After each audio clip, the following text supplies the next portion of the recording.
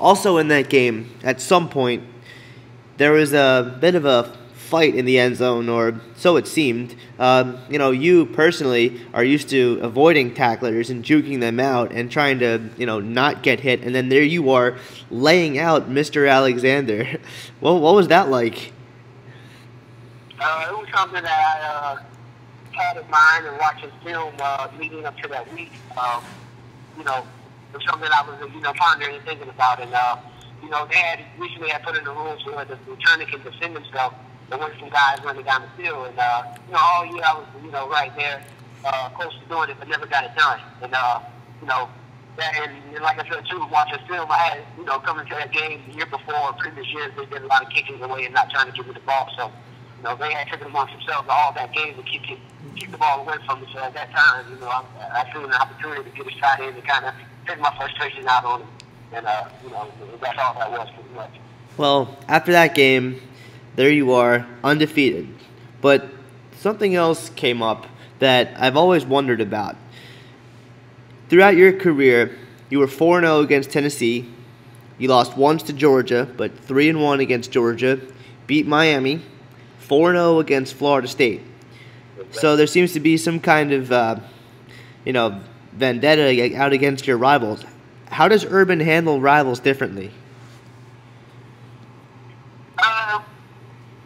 definitely, you know, in leading to those weeks, does a good job with me. Like I said, the bullet for talking, getting us prepared. But uh, with the rivalries, man, it's something where you, you get prepared for them all summer.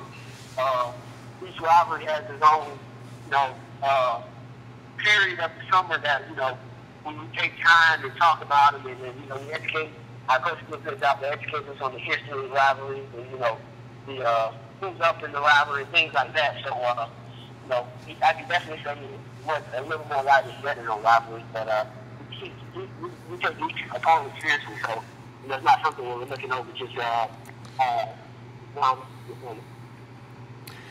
well, the ending of that season wasn't how any of us wanted it to be. Um, in particular, your ending was pretty heartbreaking. Uh, can you describe it? Uh, no, I can't really describe it. You know, it's something that still tough to me to to this day really want to talk about. Uh, you know, it's very unfortunate. You know, it's something that I had dealt with my junior year. Well, after making the decision to return my senior year, uh, something I had dealt with and being injured. And uh, you know, I'm a guy that prides himself on you know not being injured and being able to play. So having to get injured in that game and uh, feeling like you know I can't do anything to help the team, and feeling like you know if I would have played. You know, I could have left a mark and, you know, maybe turn the tide a little bit. Uh, it was very tough to deal with. And like I said, I, definitely is something that you know I try to stay with and don't like to really a lot of light on.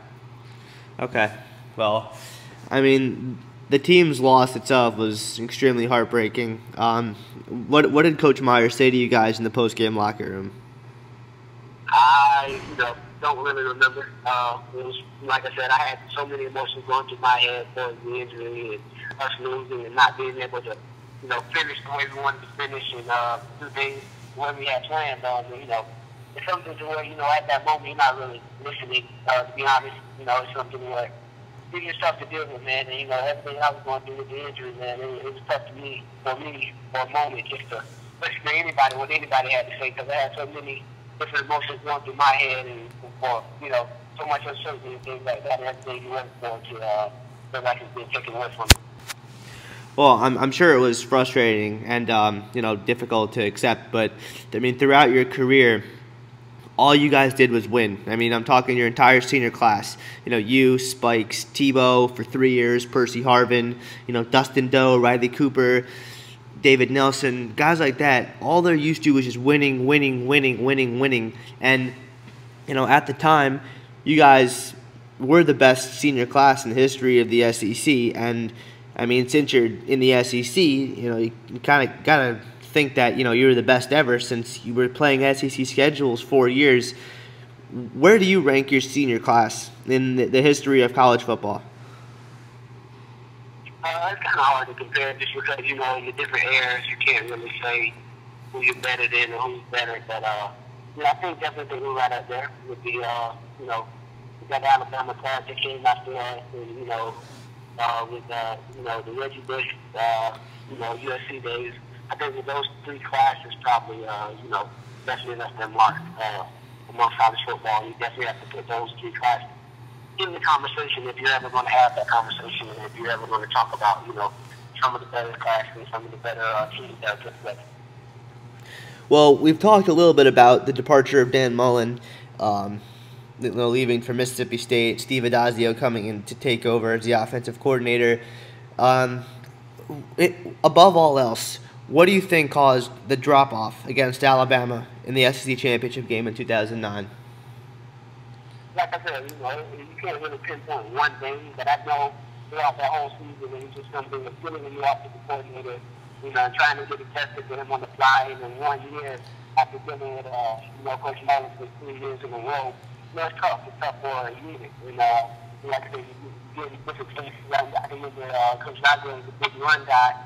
You know, uh, you know, Coach Mullen did a good job of mixing it up and always, you know, run past, you know, kind of, uh, you know, he's in and out 50-50. And, uh, like I said, you know, you can't really say, you know, pinpoint it, pinpoint it on one thing because you just didn't win, but you've been with a better team that night. But, uh, you know, I can definitely say throughout that whole year that it's definitely an adjustment for our team and everyone that's rooted with uh, uh, getting in the office Well, after the Alabama game, you guys got one more shot to end your careers the right way.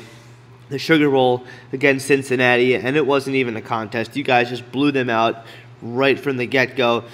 How sweet did it feel for you, even though you didn't play, to get a win in your final college football game? It was big. You know, uh, I was actually not even, I didn't even attend the game. Uh, so I remember watching it on TV and just excited for the guys.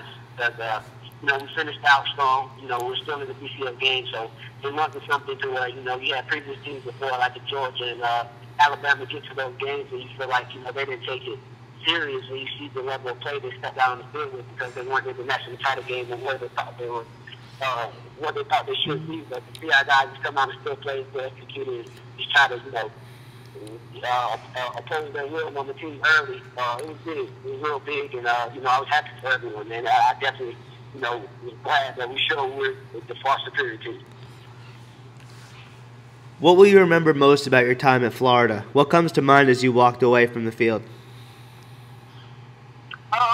just you know you you're leaving a brotherhood that can never be broken or, or can never be you know it can never come again because it's something where now all these guys are going to go these different directions and uh, you know you're not going to see each other every day like you used to. And I and I tell people all the time man that was probably that's something you can't take back man you have uh, you know all these different great athletes on one team and you're in one meeting room and you know one weight room together. So you're seeing all these different personalities man. It, it's big man. And uh like I said, that's probably the biggest thing, just knowing that you're not going to be able to see these guys each day and, uh, you know, be around them every day. Uh, you know, that's probably the biggest uh, memory.